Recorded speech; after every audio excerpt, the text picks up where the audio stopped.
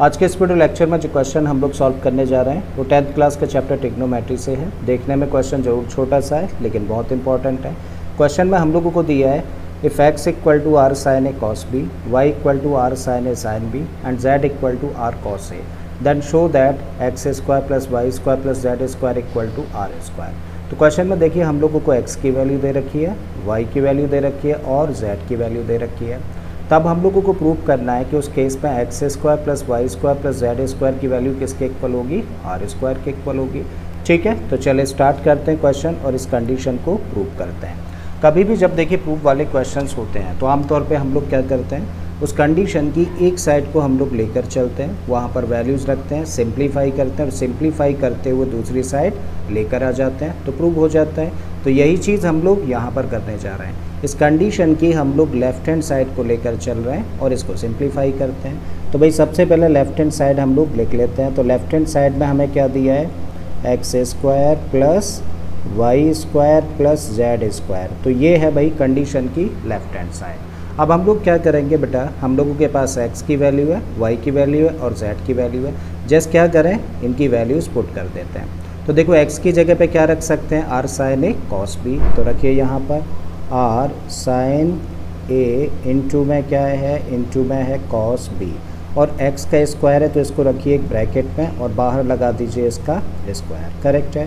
Plus y square है और y की वैल्यू क्या है? R sine a sine b तो वाई की जगह पे क्या रख रहे हैं हम लोग? R sine a sine b ठीक है तो यहाँ पे रखा हम लोगों ने आर साइन ए इंटू में साइन बी और इसके ऊपर भी स्क्वायर है तो देखो इसको भी ब्रैकेट में रखेंगे और बाहर स्क्वायर लगा देंगे। फिर अगला टर्म क्या है? जेड स्क्वायर और जेड की वैल्यू क्या है? आर कॉस ए तो इसकी जगह पे हम लोगों ने रखा आर कॉस ए और इसका भी स्क्वायर है तो हम लोगों ने ब्रैकेट में रखा और स्क्वायर कर दिया। ठीक है?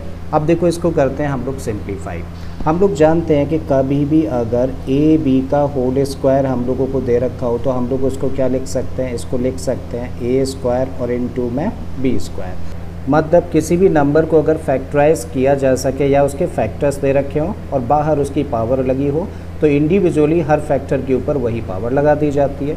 तो यहाँ पे देखिए हम लोग कितने फैक्टर्स देख पा रहे हैं। एक तो ये है, दूसरा ये है और तीसरा ये है। तो इसको बेटा इसी रूल से हम लोग क्या लिख सकते हैं? इसको लिख सकते हैं, देखो आर का स्क्वायर होगा। अगला फैक्टर साइन ए है तो साइन स्क्वायर ए लिखेंगे। अगला फैक्टर कॉस बी है तो इसको लिखेंगे कॉस स्क्वायर बी प्लस का साइन है।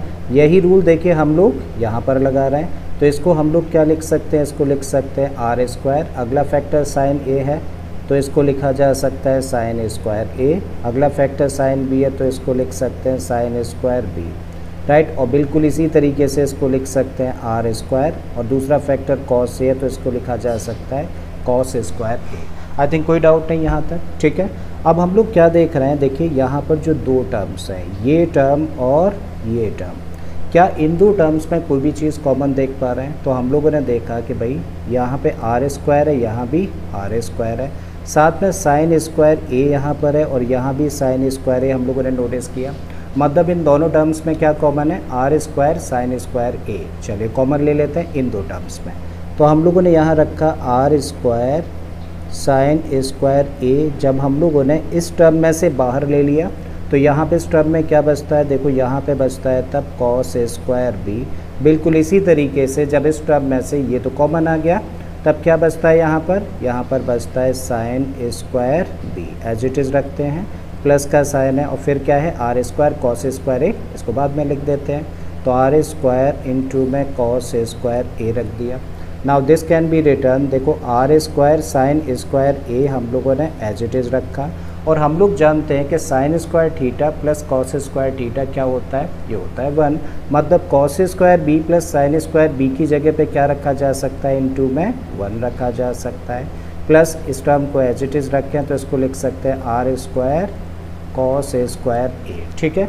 फर्दर इसको वन के साथ मल्टीप्लाई करते हैं तो बिल्कुल इसी तरीके से लिख सकते हैं r square sine square a बन गया ये, और ये वाला टर्म एज इट इज़ लिख दिया r square cos square a अब देखो हमारे पास फिर से दो टर्म्स हैं, एक टर्म बेटा ये है और दूसरा टर्म ये है। क्या इन दो टर्म्स में कोई चीज़ कॉमन है? यस बिल्कुल है।